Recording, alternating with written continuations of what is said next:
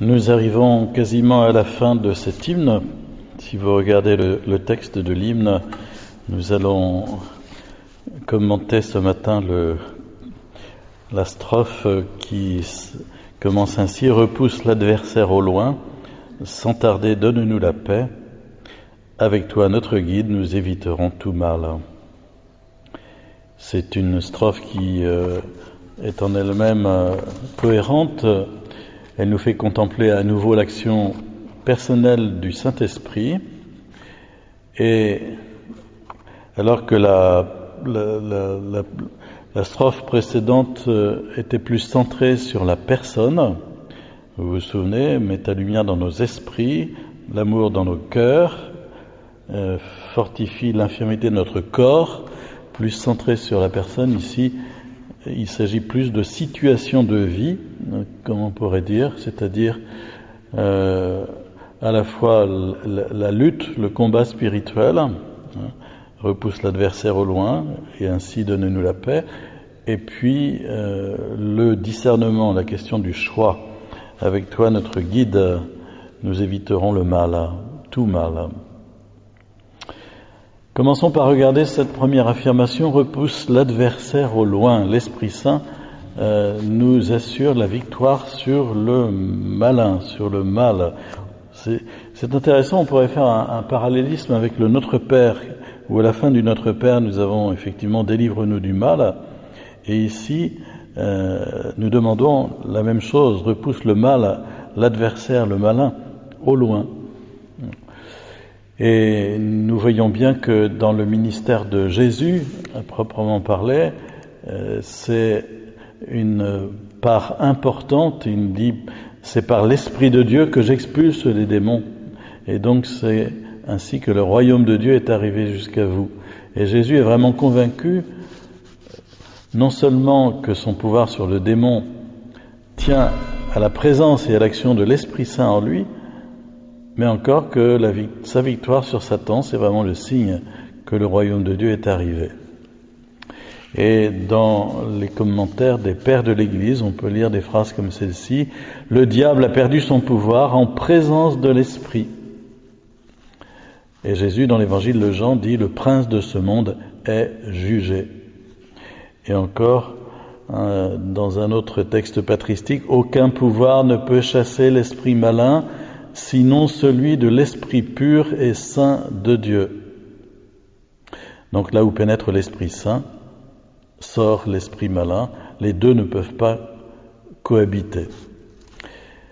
Évidemment, une des questions aujourd'hui, c'est qu'on ne croit pas beaucoup en l'existence de l'adversaire.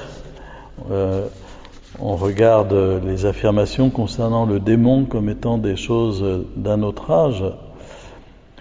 Et on peut peut-être se dire que la preuve de l'existence de Satan ne se trouve pas tellement chez les pécheurs, mais plutôt chez les saints.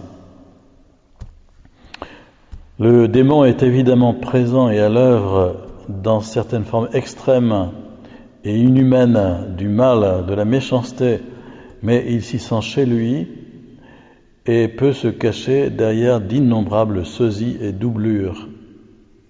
Mais dans la vie des saints, au contraire, il est obligé de se déclarer, de se mettre à contre-jour, et son œuvre apparaît comme noir sur blanc. Et dans l'évangile lui-même, on pourrait se dire que la preuve la plus convaincante de l'existence des démons ne se trouve pas dans les nombreuses libérations de possédés accomplies par Jésus, où il est parfois assez difficile de euh, distinguer la composante des croyances de l'époque sur l'origine de certaines maladies et puis l'aspect à proprement parler spirituel, mais c'est plutôt dans l'épisode des tentations de Jésus qu'on a la preuve la plus convaincante de l'existence du démon, l'épisode des tentations de Jésus. L'élément biblique demeure de toute façon dans l'ensemble de la Bible. On nous parle du démon comme d'un pouvoir personnel, doté d'intelligence et de volonté, contre lequel le Christ a lutté qu'il a définitivement vaincu sur la croix et à qui il est encore permis de faire la guerre aux saints, comme il dit dans l'Apocalypse, en vue de leur purification, euh, lui qui tente de les séduire. Repousse l'adversaire au loin, c'est aussi quelque part, donne-nous d'être dans un climat de paix et libère-nous de tout climat d'angoisse, car l'angoisse, c'est l'élément du démon, comme la paix est l'élément de l'Esprit Saint. Et dans notre hymne, la phrase repousse l'adversaire au loin est, immédiatement suivie de celle-ci, euh, sans tarder, donne-nous la paix. L'Esprit Saint nous persuade intimement que Dieu est notre Père et notre allié, alors qu'en fait l'Esprit du mal fait l'inverse, nous donne peur de Dieu, nous distancie de Dieu un maximum, tandis que l'Esprit Saint nous, nous met en communion avec Dieu Père, et nous le considérons comme un allié, non pas comme un ennemi de notre joie ou de notre bonheur, de notre réalisation humaine. Et de cette foi qui est fortifiée par l'Esprit Saint, en la grâce, naît la certitude de la victoire sur l'ennemi. Nous avons de la part de Dieu un grand protecteur. Nous ne craignons pas les démons ni le diable, parce que celui qui combat avec nous est bien plus grand, dit Saint Cyril de Jérusalem dans ses catéchèses aux nouveaux baptisés. Celui qui combat avec nous est bien plus grand tout à fait essentiel d'avoir cette vision de la victoire du Christ ressuscité. Sans tarder, donne-nous la paix. L'Esprit Saint nous donne la grande paix de Dieu. Nous demandons à l'Esprit Saint de faire dans notre vie ce qu'il a fait dans celle du Christ, nous aider à dépasser la lutte, les tentations, et nous faire connaître dès cette vie un avant-goût de la paix éternelle qui nous attend au ciel. La paix que nous demandons à l'Esprit Saint n'est pas celle d'une vie tranquille, une fausse paix que Jésus euh, dénonce lui-même dans l'Évangile, mais c'est plutôt la paix dans l'épreuve, la paix aussi après l'épreuve, comme il est dit dans la séquence de la Pentecôte, dans le labeur, le repos. Ce n'est pas non plus une paix purement individuelle, mais une paix communautaire, une paix ecclésiale. Par ce rameau, par cette arche, était figurée la paix et l'Église, et au milieu même des cataclysmes du monde, l'Esprit Saint apporte à son Église le fruit de la paix, dit Saint Ambroise dans son commentaire de Saint Luc. La paix, c'est un fruit de l'Esprit Saint. La paix, c'est le signe de la présence divine en nous. Notre paix est dans la volonté de Dieu, dans l'accomplissement de la volonté de Dieu. Lorsque cette paix de Dieu, cette paix du Christ est reçue par le croyant, elle se conjugue à sa liberté, puis agit avec elle c'est ainsi que naît la vertu qui distingue l'homme doux et paisible. C'est la paix du cœur, la paix de l'âme, la paix intérieure. Et pour faire grandir cette paix du cœur, on peut distinguer deux grands moyens, l'adhésion à la volonté de Dieu et l'imitation du Christ. Lorsque nous demandons à l'Esprit Saint de nous donner la paix, nous lui demandons implicitement de nous aider à adhérer à chaque instant et en toute chose à la volonté du Père, comme le faisait Jésus. Chaque fiat à la volonté du, Père, à la volonté divine, se traduit en nous par un accroissement de paix. Et puis la troisième partie de cette strophe, avec toi, notre guide, nous éviterons tout mal. L'Esprit Saint est source de discernement spirituel. Il nous guide. Même quand on, connaît le projet de Dieu sur nous-mêmes et qu'on a vraiment décidé d'y accorder notre vie, il y a tout le temps des questions qui se posent, des questions de discernement de ce qui est conforme et de ce qui ne l'est pas. Et c'est de ce discernement que dépend le progrès spirituel. Et les pères de l'Église ont fait remarquer que Jésus Jésus-Christ était le chemin qui conduit au Père, comme il le dit lui-même, mais l'Esprit Saint est le guide sur le chemin. C'est Grégoire de Nice qui dit ça. avec un jeu de mots dans le texte grec. L'esprit qui est guide, c'est déjà euh, perceptible dans l'Ancien Testament à travers le symbole que vous connaissez, la nuée lumineuse, la colonne de feu qui accompagnait le peuple élu dans son cheminement sur la terre promise. Dans le Nouveau Testament, le guide, c'est véritablement le paraclet, l'Esprit Saint. Et on voit que Jésus lui-même est conduit, guidé au désert, par exemple, comme il est dit, par l'Esprit Saint.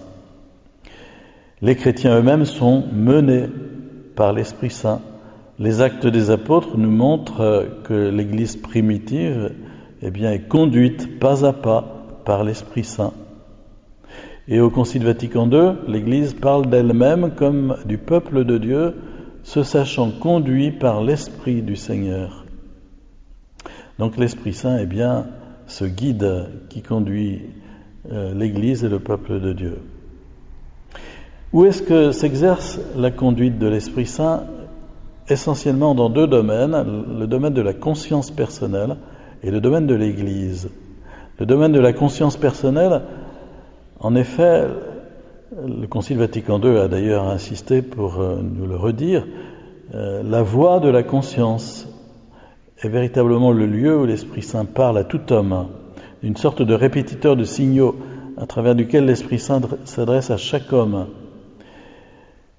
Et donc pas seulement le croyant, mais aussi euh, le non-croyant. L'Esprit nous guide aussi à travers un autre domaine, c'est celui de l'Église. Et le témoignage intérieur de l'Esprit Saint doit être conjugué, complété par le témoignage externe, visible et objectif qui est le magistère apostolique de l'Église. Et il serait fatal de se passer de l'un ou de l'autre témoignage de l'Esprit.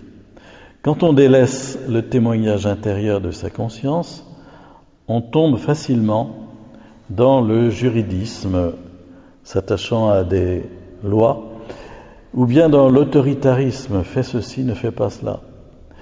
Quand on délaisse le témoignage extérieur donné par l'Église, on tombe facilement dans le subjectivisme, moi je pense que, je sens que, et le fanatisme aussi. Donc toujours laisser ces deux domaines s'éclairer mutuellement et se compléter. L'Esprit Saint est guide en ce sens aussi qu'il nous aide à discerner les signes des temps. Dans l'Église, le discernement des esprits est exercé avec autorité par le magistère, qui doit tenir compte aussi du sens des fidèles. Et dans la situation actuelle, caractérisée par un dialogue pacifique avec les autres religions, le discernement s'avère d'une extrême importance. Et le Concile Vatican II a déclaré L'Église a le devoir à tout moment de scruter les signes des temps et de les interpréter à la lumière de l'Évangile, de telle sorte qu'elle puisse répondre d'une manière adaptée à chaque génération aux questions éternelles des hommes sur le sens de la vie présente et future et sur leurs relations réciproques. C'est un travail qui est toujours à refaire de scruter les signes des temps, discerner les signes des temps aujourd'hui. Et un facteur très important dans l'accomplissement de cette tâche, c'est donc la collégialité des évêques que le Concile a mise en valeur et qui s'exerce aussi à travers le synode permanent des évêques. Il permet de décider en commun de routes et permet de décider en commun les routes et les questions les plus importantes par une décision que l'avis de l'ensemble permet d'équilibrer. Mais nous sommes affrontés constamment à la question du discernement dans la vie personnelle. Le premier discernement fondamental des esprits permet de distinguer l'esprit de Dieu et l'esprit du monde, comme dit Paul. Et Paul propose un critère objectif de discernement, le même que celui donné par Jésus, à savoir le critère des fruits. Il parle du fruit de l'Esprit Saint. Mais parfois même ce critère objectif ne suffit pas, car le choix n'est pas entre le bien et le mal, mais entre le bien et un autre bien. Difficile. Il s'agit de voir ce que Dieu veut dans une circonstance précise. Et c'est surtout en réponse à cette question que saint Ignace de Loyola développa sa doctrine sur le discernement. Et il invite à regarder une chose en particulier, à savoir nos propres dispositions intérieures et nos intentions cachées, les esprits, l'esprit bon, l'esprit mauvais, derrière tel ou tel choix.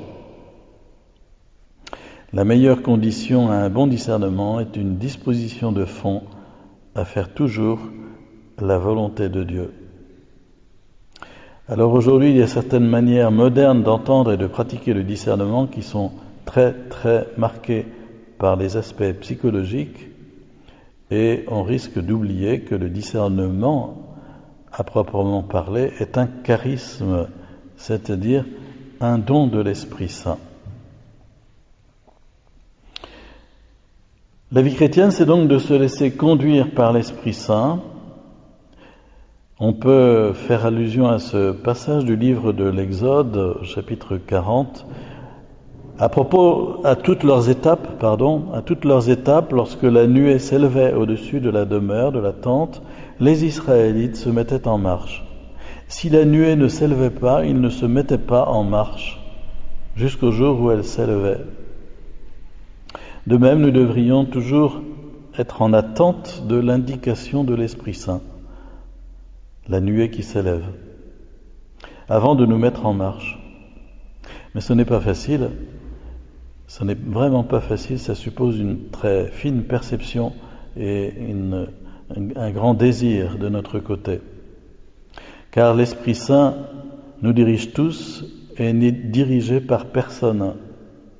Il conduit il n'est pas conduit. Et il peut exister des manières subtiles de suggérer à l'Esprit Saint ce qu'il devrait faire avec nous et comment il devrait nous conduire. il peut même nous arriver de prendre des décisions qu'on attribue ensuite à l'Esprit Saint. C'est bien facile. Nous sommes comme des acteurs jouant notre propre vie sur la scène d'un théâtre. Nous devons ainsi tendre l'oreille vers le souffleur qui est dans les coulisses afin de jouer le plus fidèlement possible le rôle qui est le nôtre. Mais notre souffleur, l'Esprit Saint, nous parle au-dedans de nous-mêmes, nous enseignant toutes choses et nous instruisant de tout. Un seul coup d'œil intérieur, un simple mouvement du cœur ou une seule prière peut quelquefois suffire pour nous accorder à ce qu'il nous suggère. Je vous propose de prier à nouveau l'hymne à l'Esprit Saint. Viens dans nos cœurs, viens en nous, Esprit Créateur, visite l'âme de tes fidèles, emplis de la grâce d'en haut les cœurs que tu as créés.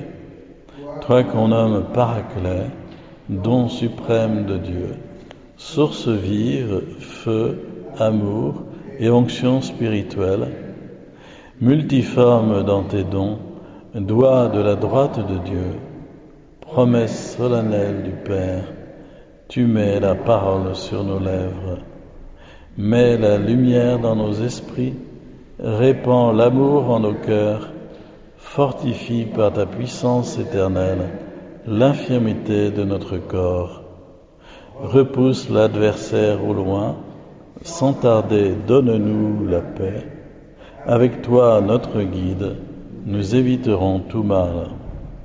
Fais-nous connaître le Père, fais-nous connaître aussi le Fils, et fais-nous croire en toi, qui est l'Esprit du Père et du Fils. Amen.